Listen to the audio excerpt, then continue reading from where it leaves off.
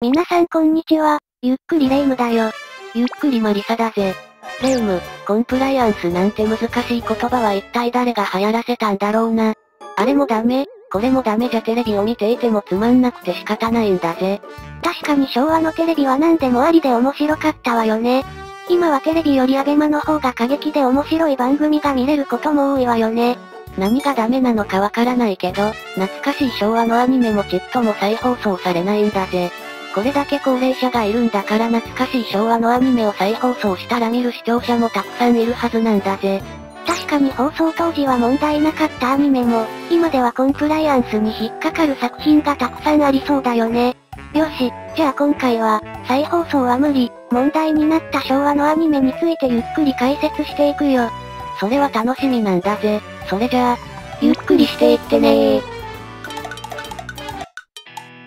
昭和のアニメが再放送できない理由といっても、実際にはいろんなパターンがあるわよね。やっぱり定番なのはエッチなシーンが問題になるケースじゃないのか。漫画なら OK なのにテレビはダメってのもなんだかおかしな話なんだぜ。このパターンの代表作といえば1981年10月放映開始のマイッチングマチコ先生、だよね。海老原武史先生の原作漫画は1980年に学習研究者の少年漫画誌少年チャレンジで連載が始まり、単行本は累計で280万部以上を売り上げるヒット作品になったのよね。ヤングジャンプ、やヤングマガジン、みたいな青年向けの漫画雑誌じゃなく、学研の少年漫画誌に連載されていたっていうのが、いかにも昭和らしいんだぜ。主人公の舞町子、通称町子先生は私立荒間学園に赴任した23歳の女性教師。いたずら好きの生徒、健太たちから毎回セクハラを受けながらも、マイッチングの決め台詞で可愛く受け流す美人教師なのよね。アニメのテーマが女性教師へのセクハラという、よく考えるとなんだかエッチなビデオみたいなアニメだったんだぜ。健太が、タッチ。と言いながらマチコ先生の胸にタッチする姿に憧れた昭和の少年がたくさんいたんだぜ。テレビアニメの方は本編だけでなく、オープニングからすでにマチコ先生の全裸シーンがあるような内容で、これには PTA から苦情が殺到。1982年には京都でマチコ先生に抗議する会が結成されるほどの騒ぎとなったのよ。PTA のお父さんたちも、みんな同じ道をたどって大人になったのに、寄ってたかってマチコ先生を非難するなんてあんまりなんだぜ。さらに抗議行動はエスカレートし、学研が発行していた全ての学習誌の不買運動に発展したのよね。昭和の子供たちは学研の学習誌を読むのがお決まりだったから、学研としては大きな痛手なんだぜ。結局こうした抗議を受けて、町子先生に抗議する会が結成された京都をはじめ、いくつかの府県では事実上放送が打ち切られることになったのよね。その後、2000年代になると実写版のオリジナルビデオ作品や舞台版が公開されるなど、マイッチングマチコ先生の人気は相変わらず根強いと改めて感じさせられるわよね。またマチコ先生の、うーん、マイッチングの色っぽい声を聞きたいもんだぜ。お色気シーンが NG なら、キューティーハニーも問題なんだぜ。キューティーハニーは1973年10月から1974年3月にかけて全25話が放送された永井豪とダイナミックプロ原作のアニメだったわね。ハレンチ学園にあばしり一家。永井豪先生の作品といえばお色気シーンは欠かせないんだぜ。主人公のキューティーハニーことキサラギハニーは、空気中のあらゆる元素を自在に結合させ望むものを作り出すことができる空中元素固定装置を体に組み込んだ美少女アンドロイドなのよね。キューティーハニーって正体はアンドロイドだったんだな。ハニーはロボット工学の権威、キサラギ博士のことを実の父親と思っていたんだけど、空中元素固定装置を狙う世界規模の犯罪組織パンサークローによってキサラギ博士が殺害されたことをきっかけに真実を知ることになるのよね。そうか。それでキューティーハニーは父の仇を討つためにパンサークローと戦うことになるわけだな。でも昭和の少年たちはそんなあらすじよりキューティーハニーの変身シーンに夢中だったんだぜ。キサラギハニーは首のネックレスについたハートのスイッチに手を触れながら、ハニーフラッシュ、と叫ぶことによって空中元素固定装置を起動し、七変化することのできる究極の戦士キューティーハニーに変身するのよね。ある時は花形レーサー、またある時はスチュワーデス、そしてモデル、歌い手、カメラマン、だがその実体は、愛の戦士、キューティーハニーさ。お決まりの口上もかっこよかったんだぜ。キューティーハニーの七変化の要素や、ある時は、で始まる決め台詞は片岡千恵蔵主演の人気ミステリー映画、多羅尾伴内、シリーズのオマージュだね。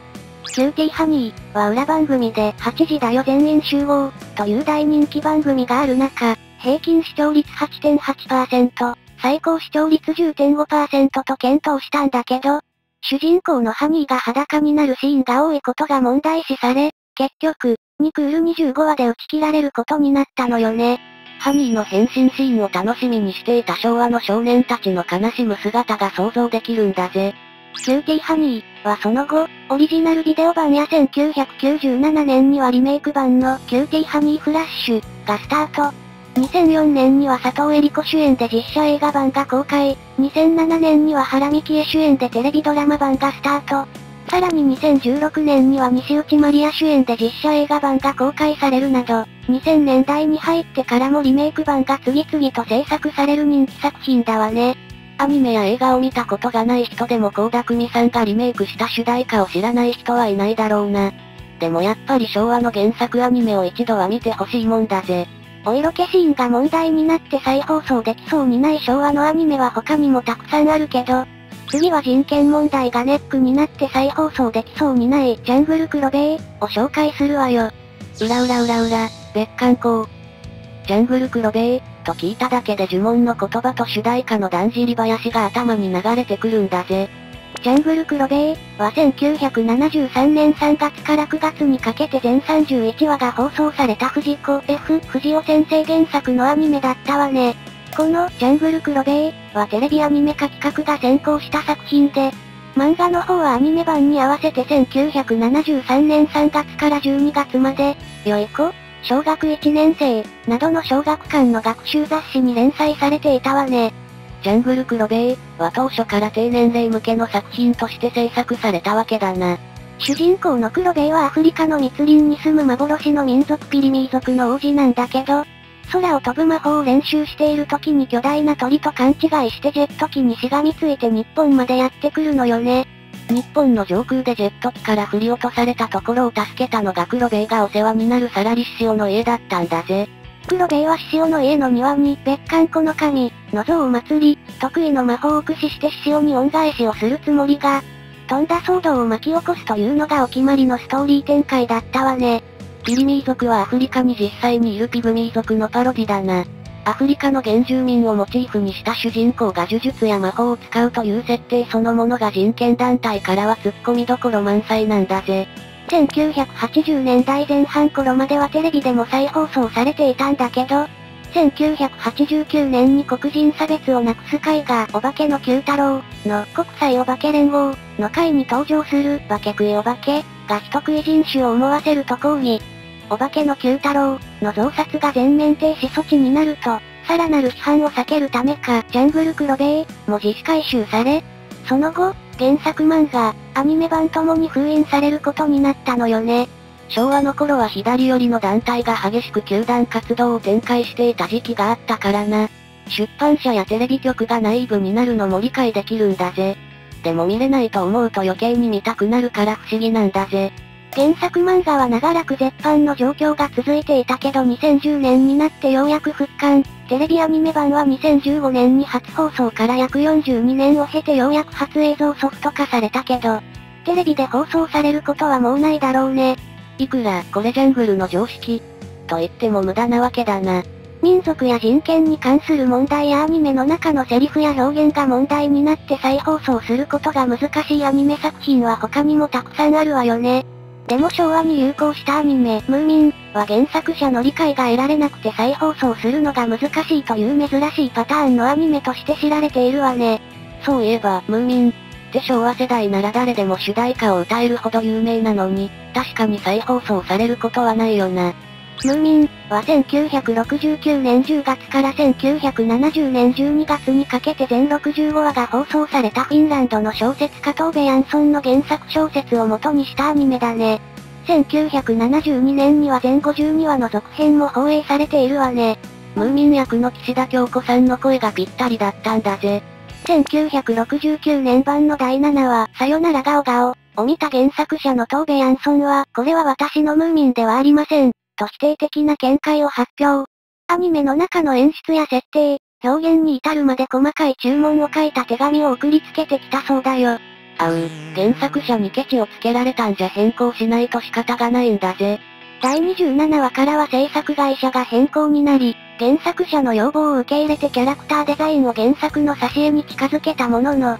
視聴者からは突然のキャラクターデザインの変更に問い合わせが殺到し、結局、日本国内でのみ放送するという条件で再び、元のデザインに近い形に戻されたのよね。視聴者はそれで納得しても、今度は原作者が納得しないんじゃないのか。1972年版の放映後も原作者は外国での放送は認めないなど堅くなな姿勢を崩さなかったんだけど、1990年には原作者も制作に携わった楽しいムーミン一家の放映がスタートするのよね。なるほど。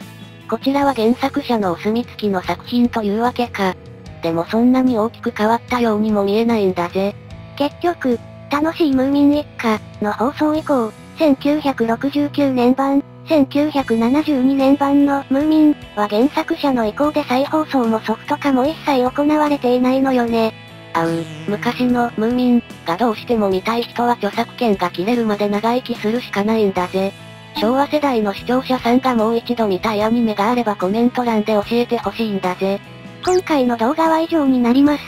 最後までご視聴いただきありがとうございました。リクエストがあったらコメント欄にじゃんじゃん書いてほしいぜ。チャンネル登録と高評価もよろしくお願いします。